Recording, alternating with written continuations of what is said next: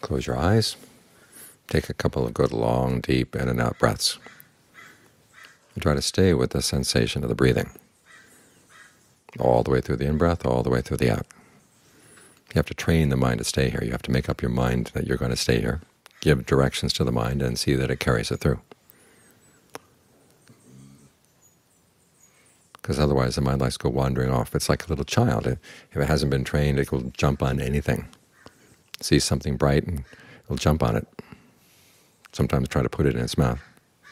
And some bright things are okay, and other bright things are dangerous. Shards of glass, fire, these are bright. In the same way, the mind gets attracted to things and it just goes for them, often without thinking about what's going to be the result over the long term. So you have to train it first to say, okay, you, you go after things only when you know what they're going to lead to.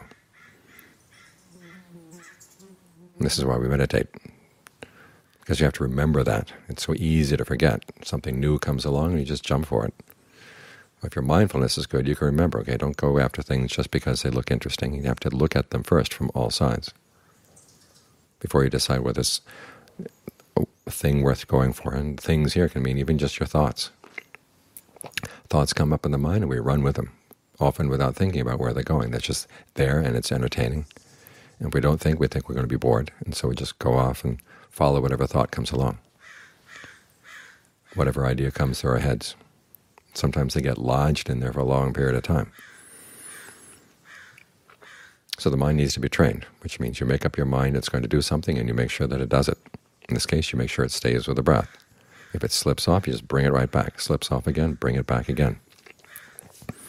This way you teach it new habits. And you teach this part of the mind that's more in charge, really to be in charge. So that when it says, okay, don't think about that, the mind obeys. When it says to think about this, okay, it obeys. Your thinking, if it serves a purpose, is all fine and good. But oftentimes we destroy ourselves with thinking that doesn't serve any purpose at all. So try to be a little bit more in charge of what you're going to think about, where you're going to go. Remember that the sign of a wise person is to train the mind. It's, the foolish person doesn't see there's any need to train the mind. The foolish person just goes for whatever's out there whatever seems pleasant.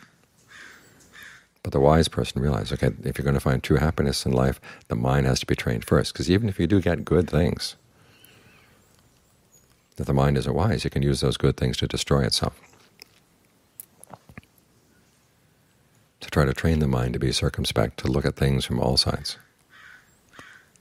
Now we would get benefit from the good things in the world, and we can avoid the problems of the bad things in the world both the world outside and the world inside.